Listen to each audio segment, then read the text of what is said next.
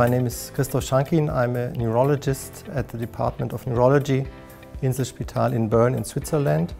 I'm also a headache specialist and I'm uh, enthusiastic about doing research on visual snow. I was doing a research fellowship, a clinical research fellowship at UCSF in uh, San Francisco with Professor Peter Goadsby.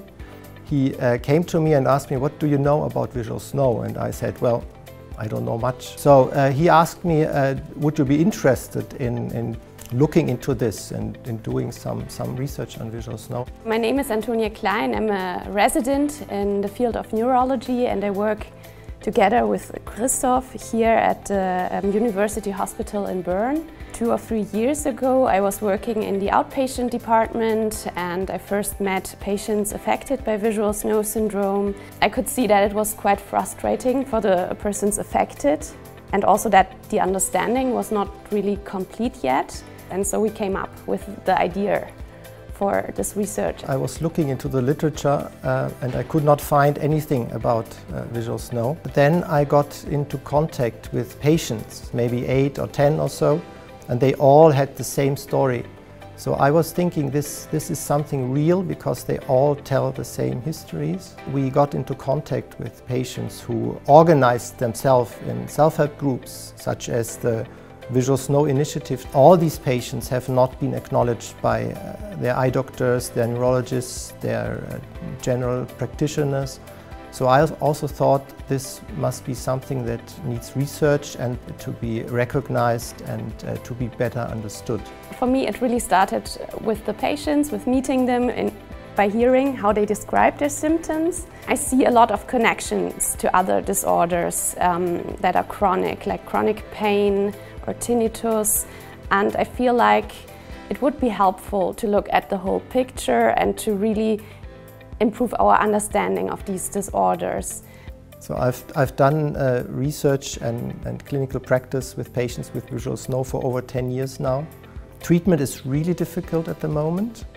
We, we now know that it happens in the brain, it is a, a network problem and uh, I think there is some, there must be some treatment for these patients and that keeps me going. Patients telling how isolated they felt, how misunderstood and kind of left alone. I also experienced this frustration that we didn't really have anything. And I think that's where my motivation came from. My research has so far mainly focused on, on the development of this project. This paper that Christoph and I wrote about visual snow being a, a network disorder. This is a new concept that is kind of advancing in the field of neurology at the moment. With this approach it is easier to understand some of the um, disorders that we are um, seeing in neurology. The initial idea was to talk to patients who have this one symptom, the TV snow-like vision. And the first thing we found out is that these patients, they, they have that, but they also have other visual problems, such as after images, the, the floaters, the sensitivity to light. They also have non-visual problems such as tinnitus, for example, and they also have non-perceptual symptoms. This must be something like a network problem where several areas of the brain are involved and uh, maybe several neurotransmitters are involved and that's maybe also the case, the reason why, why it's so difficult to, to treat it because it's much more complicated in addition to, to that, it, it proves that patients with visual snow really have something.